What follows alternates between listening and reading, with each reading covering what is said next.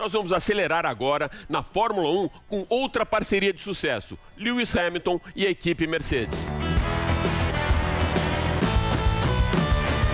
Nesse final de semana, Lewis Hamilton pode se tornar o maior piloto de todos os tempos se conquistar o heptacampeonato na Turquia. Em 2020, o rolo compressor inglês, juntamente com a equipe Mercedes, já esmagou muitos recordes e alcançou números inimagináveis na Fórmula 1 além do maior número de vitórias na categoria, tem no seu currículo o maior número de pole positions, voltas mais rápidas, pódios e agora, nesse final de semana, pode conquistar também o título com três provas de antecipação para se igualar a Michael Schumacher, que ao longo da carreira conquistou sete vezes o Mundial de Pilotos. Para isso, o inglês só precisa de uma segunda colocação para não depender do resultado do seu companheiro de equipe, que mesmo com uma vitória no GP da Turquia, ainda colocará o título desse ano na mão do inglês, desde que Bottas não crave a volta mais rápida da corrida. Com nove vitórias em 13 corridas disputadas até o momento, a supremacia de Hamilton cria um abismo de diferença, não só para os pilotos de outras equipes, como também para o seu companheiro de equipe, Valtteri Bottas.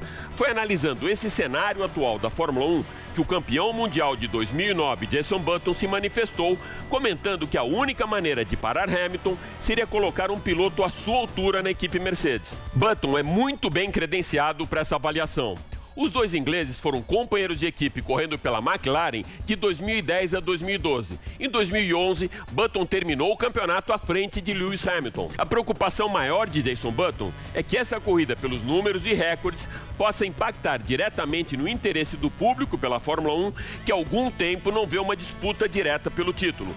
Button vai além e provoca a nossa paixão pela competição de alto nível quando propõe até mesmo o nome de um piloto mais agressivo para dividir o boxe com o ex-campeão, Max Verstappen.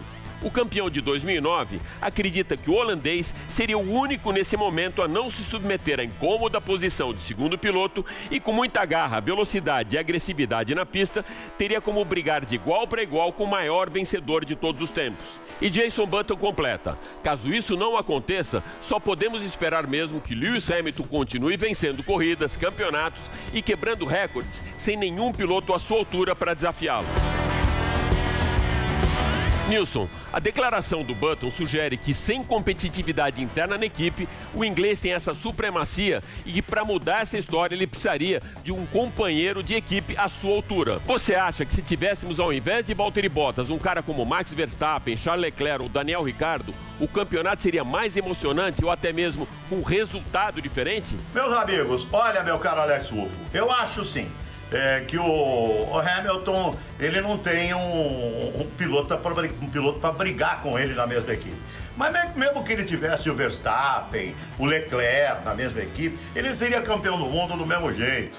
É, utopicamente, se você tiver carros iguais, é, o Hamilton ele é um cara um segundo superior aos demais, sabe? É a mesma coisa que o Ayrton na época, sabe? Ele é diferente, um cara superior aos demais. Então não é o companheiro de equipe que facilita a vida do Hamilton, não. É que ele é bom pra caramba sabe? Ele é top 3 no mundo, na história da Fórmula 1. Primeiro Senna, segundo Schumacher e depois Lewis Hamilton. É isso que eu penso.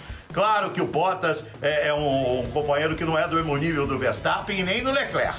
Eu acho que seria mais difícil para o Hamilton. Mas do, do, mesmo jeito, ele ganharia o título mundial de Fórmula 1. Seria mais emocionante? Seria sim. Mas o título seria do inglês. Pode apostar. Tá falado, Alex? Vamos lá então, Nilson. Se a gente excluir o Lewis Hamilton desse pacote geral de pilotos na ponta da Fórmula 1. Quem você reputa como candidato ao título depois da aposentadoria do inglês, claro? Olha, meu caro Alex, tirando o Hamilton do pacote, eu acho que o Verstappen pode ser o futuro campeão do mundo de Fórmula 1. Ele está mais pronto que o Leclerc. Ah, o Leclerc não é um grande piloto? Claro que é. Piloto extraordinário, um cara que tem tudo para ser campeão também, mas ele não tem a, a, mesma rodagem que tem o Verstappen. Em razão disso, meu caro Alex e meus amigos da PAN, se eu tivesse que escolher, é, tirando o Hamilton, quem que você escolheria para ser o prime, primeiro piloto da sua equipe? Max Verstappen. Esse cara é fera de verdade, é bota, é pé embaixo, está amadurecendo cada vez mais, né? Enquanto que talvez o Leclerc tenha um caminho um pouco maior para o seu amadurecimento. Então hoje, é, tirando, uh, repito, Lewis Hamilton é, da Fórmula 1, para mim Max Verstappen seria um cara que teria todas as condições de ser campeão. Tá falado, meu caro Alex?